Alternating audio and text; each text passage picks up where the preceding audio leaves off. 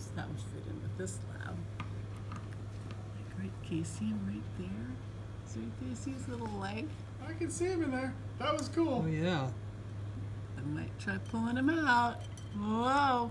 Oh! And so they're just symbiotic, or they Yep. just everyone's happy to live together. Yep. Come here. Not a very efficient, free living life, but he's perfect for the mantle cavity.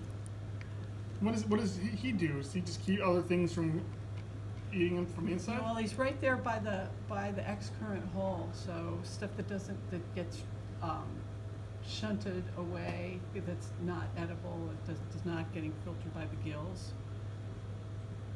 I mean, what benefit does he serve the limpet? Just keeping other parasites from Oh, occupying that. wrong that- term. If you just I think it's commence. He's commensal. So he's Rather no than benefit to the mutual. limpet, really. not that I know of. Okay. Unlike uh, the polychaetes that are on the bat stars, supposedly they keep settling organisms off of the aboral side, although you can rarely see them on the aboral side of the of the. Well, then they're doing a That's good job. I guess.